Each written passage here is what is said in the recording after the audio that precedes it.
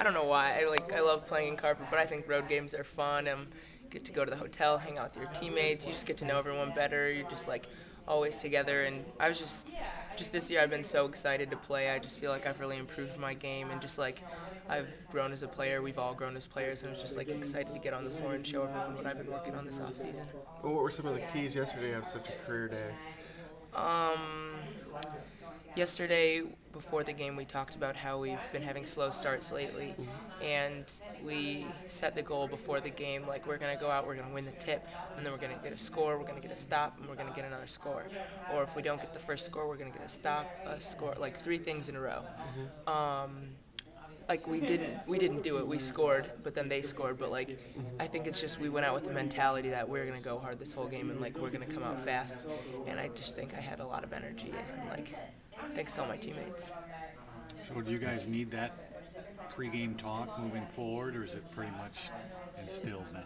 Um, well, we have a pregame talk before every game and just kind of like decide like what are our goals going to be for this game. Like we always have a few of the same ones, like working hard, picking each other up, and if we like miss a shot, who cares? Like let's go get the offensive rebound and like do it again.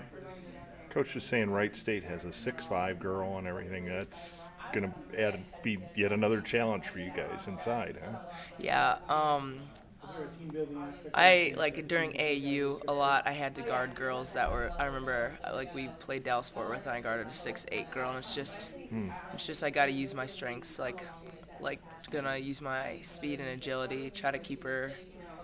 Try to push her out of the paint as best as I can, but it might be a bit of a struggle. She's got to guard you too, though. Yeah.